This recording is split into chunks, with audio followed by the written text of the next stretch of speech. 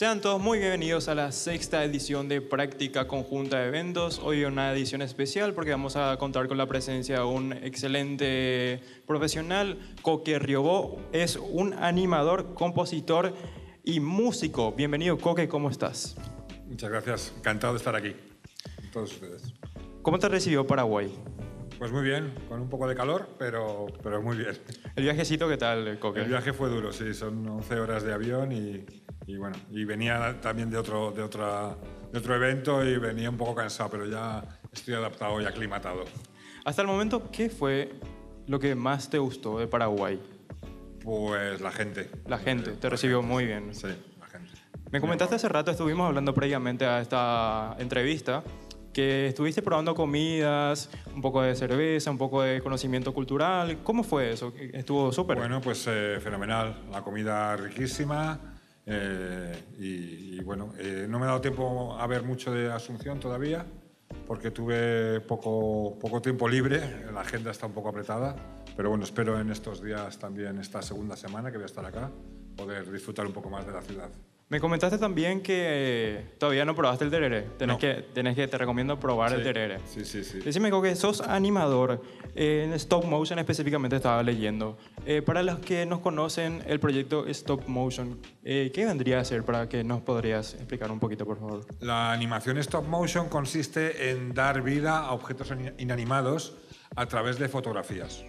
Para que lo entiendan bien, sería como tenemos un muñequito, que es un poco lo más conocido dentro del mundo del stop motion, un muñequito articulado, entonces vamos haciendo pequeños movimientos, hacemos un movimiento, hacemos una foto, otro movimiento, movimientos muy chiquitos, eh, para conseguir luego, con todas esas fotografías, convertirlas en una, en una película a través de, una- de un programa de computadora eh, de edición de vídeo y con, con todas esas fotos, variando la posición de ese muñeco, conseguimos esa sensación de movimiento, ¿no? de, de a un objeto animado poderle dar movimiento. ¿no?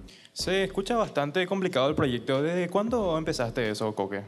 Pues empecé en el año 2000. Después de. Bueno, yo, sé, eh, yo lo que estudié fue música. He estado muchos años trabajando de músico profesional allá en España.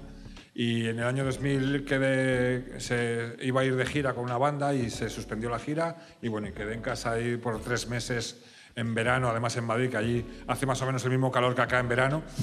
solo, solo tres meses, acá lo tienen todo el año. Pero bueno, pues allí encerrado en casa y empecé a hacer pruebitas con una cámara antigua que me dejaron y bueno, a, a raíz de, de eso quedé súper enganchado, súper enamorado de esta técnica y hasta el día de hoy. Llevar un proyecto así de stop motion, ¿cuánto suele durar? ¿Cuánto suele tardar llevar un proyecto así?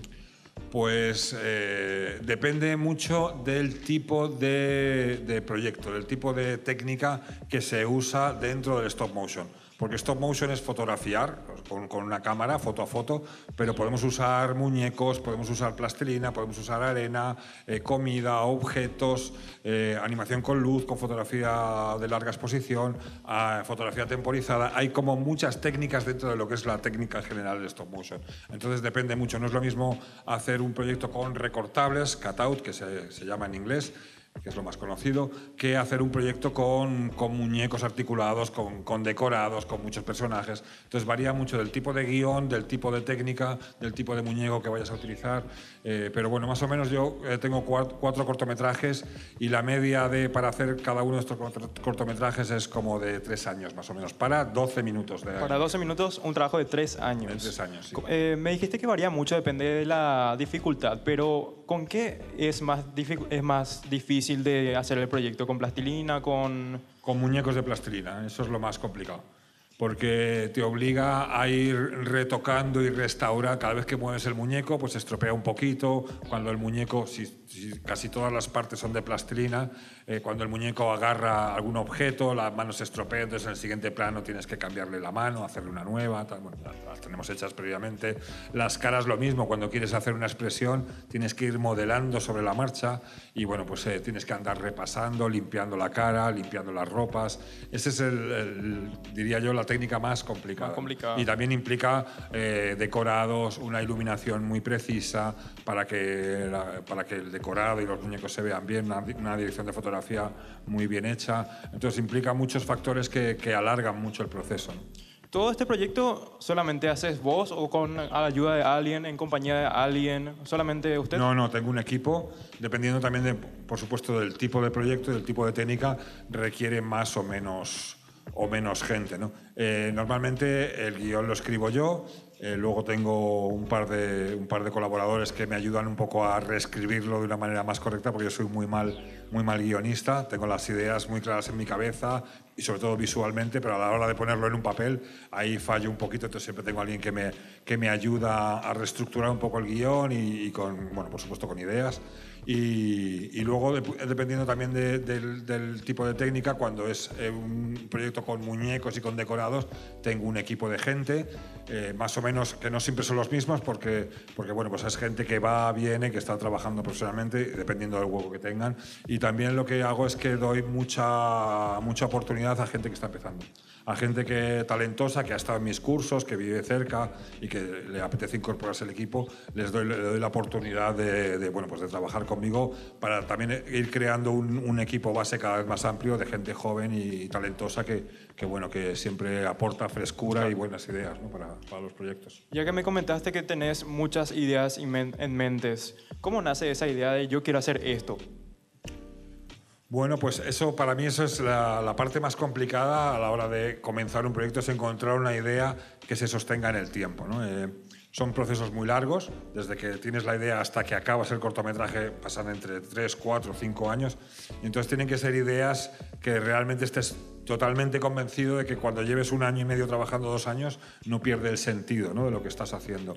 Eh, y bueno, pues nace, yo sobre todo me fijo mucho, todo mi cine, eh, todas mis películas tienen un componente social y político muy fuerte y me fijo mucho en, pues en, en los diarios, en, lo- en las- en los noticieros, en, la- en lo que sucede alrededor de mí, ¿no? en, la, en la vida cotidiana buscándole siempre un poco la parte surrealista a esas cosas cotidianas que las tiene, ¿no? Y a veces, eh, como se dice, esta frase tan manida y tan, y tan hecha, ¿no? Que, que la, que la realidad supera la ficción, ¿no? En mi caso, bueno, pues muchas veces me- la gente me dice, ¿cómo te- se te ocurren estas ideas tan locas? Dije, no, la, la vi en el periódico, no como- la vi en el jornal, no, no me la inventé yo, ¿no? Entonces, pues bueno, de ahí saco muchísimas ideas, ¿no? Y luego, por supuesto, eh, esas ideas que, esas ideas que veo en- a mi alrededor las transformo a través de mi filtro como artista, ¿no? Y intento pues, que tengan un toque especial, un toque mío, ¿no? Como comentaste, eh, la duración de 3 a 5 años puede ser algo complicado. Y te- aparte de eso, quisiera preguntarte, ¿qué es lo más fácil y lo más difícil de hacer este proyecto en stop motion? Bueno, a mí la parte que más me gusta de los proyectos es construir. Soy muy mañoso, me gusta mucho modelar, construir los decorados y la parte más difícil realmente es la animación, o sea, el, darle vida a los muñecos, porque es un, pro- un proceso a veces muy tedioso. La parte de construcción eh, para mí está muy viva porque me permite bueno, pues experimentar con materiales, eh, jugar mucho con el ingenio de cómo conseguir que se vea bien con pocas cosas, conseguir un gran resultado. Y la parte de animación, pues eh, muchas veces son horas y horas pegado al set de animación. Tienes que hacer que un muñeco ande de, de un sitio a otro y en ese plano no sucede nada más. Pero para, para hacer 10 pasos de un muñeco a lo mejor estás 5 o 6 horas, ¿no? Entonces, bueno, pues esas, esas partes son como muy repetitivas y muy tediosas, que es la parte que, que me gusta porque le estás dando vida a, uno, a un muñeco, ¿no? A tu personaje, pero a veces, bueno, hay, hay planos que son muy tediosos y, duros, ¿no? De, terminar. Genial, Coque, muchísimas gracias. Bastante complicado este proyecto, no es una cosa de un día para el otro, lleva bastante tiempo. Les comento a ustedes que en este momento nos estamos yendo a la pausa y al volver de la pausa vamos a entrar en una sección de ping pong, ¿te parece? Perfecto. Ya volvemos.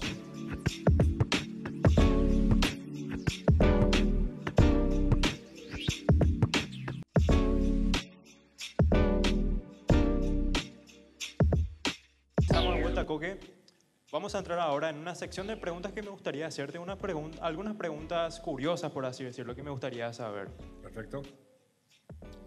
¿Por qué elegiste animación? Eh, bueno, la animación stop motion en este caso, eh, a una tres grandes eh, materias que me, que me, gustan mucho, ¿no? que es la, el lenguaje cinematográfico, la parte visual y, y, artesana de construir los muñecos y los decorados, y luego, por supuesto, la música, ¿no? que son tres de mis grandes pasiones. ¿Cómo es el proceso de animación? Eh, bueno, el proceso es un proceso largo eh, y Perdona, es que esa pregunta no sé, cómo orientarla. Es muy específico, ¿no? Eh, sí, es, es, como muy, muy amplia. Ah, muy amplia. El, proceso creativo, ¿te refieres? En general, ¿cómo le parezca? Le podría responder. Mm, bueno, pues el proceso es, es primero encuentras una idea, eh, la desarrollas, construyes un storyboard, un guion, eh, y luego consigues la, la, plata para financiarlo y, y finalmente la, lo, lo, lo, ruedas. ¿no? ¿Es fácil conseguir la plata? Es lo más complicado. Es lo más complicado. lo más complicado. ¿Cuál es el desafío en este proceso de stop motion? Quitándolo de la plata. Bueno, pues el, eh, sobre todo para mí lo más importante es encontrar una idea fuerte, una idea potente que aguante ese largo proceso de dos, tres, cuatro años sin que al final pienses que lo que estás contando no merece la pena o, a la gente no le va a interesar. No tiene que ser una idea que tengas bien, bien, bien arraigada y que sientas la necesidad de contarla ¿no? y que creas que va a servir para pues bueno, para que la gente piense un poco sobre estas temáticas ¿no? y, que, surta un efecto colectivo eh, en, la mentalidad de la gente. Ya que estamos, dura mucho el proyecto de grabación en general y todo eso. se necesita mucha motivación para hacer este tipo de proyectos, ¿no? Se necesita mucha motivación, sí. La energía que se gasta en hacer este tipo de proyectos es muchísima. Eh, yo por eso siempre, bueno, hago un cortometraje que suelo, suelo, suelo tardar entre 3, 4 años, luego estoy 2, 3, 4 años eh, eh, de, pausa, por supuesto trabajando en otras cosas y tal, para también conseguir la plata para poder hacer, para poder hacer el nuevo proyecto. Entonces, bueno, en los últimos 24 años he hecho cuatro cortometrajes, con lo cual, para que tengas una idea más o menos de, no es solo un corto cada cuatro años, sino que luego también necesito una pausa y cada cortometraje que hago pienso que va a ser el último, porque acabo muy, muy agotado y muy fatigado. Te digo, este es el último que hago, pero luego se me olvida y vuelvo a empezar. ¿Cuáles son los materiales para la animación?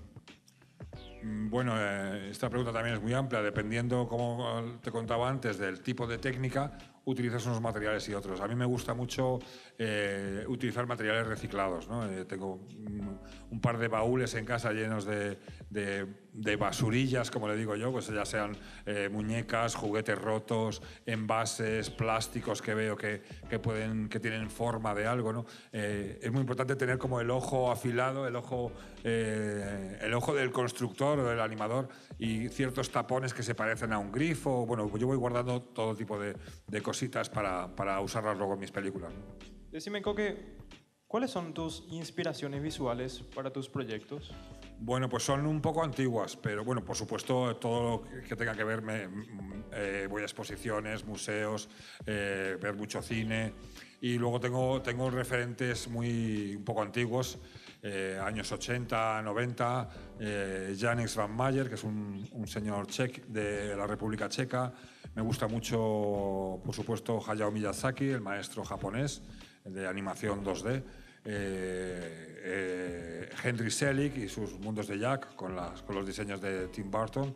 Eh, bueno, pues hay muchas referencias y, y, me inspiro mucho sobre todo en, también en pintores antiguos, pintores modernos, escultores, o sea, no solo es, mis referencias no solo son cinematográficas, sino que abarcan un poco todo el espectro ¿no? de las bellas artes. Coque, para ir cerrando esta sesión de preguntas, me gustaría preguntarte cuál es tu película favorita y cuál es tu género de película favorita. Pues mi película favorita es de, animación, sería eh, los viajes de, El viaje de Chihiro, de Hayao Miyazaki, y, y me gusta muchísimo el género de ciencia ficción. Ahí me permite mucho el poder explorar y bueno, todo lo que tenga que ver con marcianos, naves espaciales, robots gigantes y estas cosas me, me fascinan ¿no? y me inspira muchísimo para luego aplicarlo a, a, mis películas. En mi opinión, mi película favorita es Shrek. Mi película favorita es Shrek y mi género favorito es acción como un niño normal, por así decirlo. Bueno, Coque, te agradezco muchísimo, gracias, muchísimas gracias por tu, por tu tiempo, por venir acá, por compartir tus ideas tus procesos, tus inicios con nosotros. ¿Alguna palabra, algún mensaje que te le gustaría decir a tu cámara? Al bueno, me gustaría primero agradecer al IPAC por, por traerme acá, darme la oportunidad de compartir con ustedes, eh, poder enseñar mi trabajo y poder eh, a- ayudar a que los nuevos talentos eh, eh, descubran nuevas formas de creación y, por supuesto, al Centro Cultural de España, Juan de Salazar, por traerme acá y darme la oportunidad de, de visitar el Paraguay y compartir con ustedes todo mi conocimiento. Yo quisiera agradecer a los sonidistas, a la parte de producción, a los cámaras por todo el trabajo que hacen eh, todos los días en esta materia para que se logre esta entrevista. Yo también quería agradecer a, una- a unos compañeros específicos, a Rodney, a Agustín, a Kevin, que se pasan laburando en esta materia, a la profesora por darme su confianza. Y nada más que eso, muchísimas gracias a todos. Yo me estoy despidiendo de esta sexta edición de Práctica Conjunta de Eventos. Hasta la próxima, nos vemos.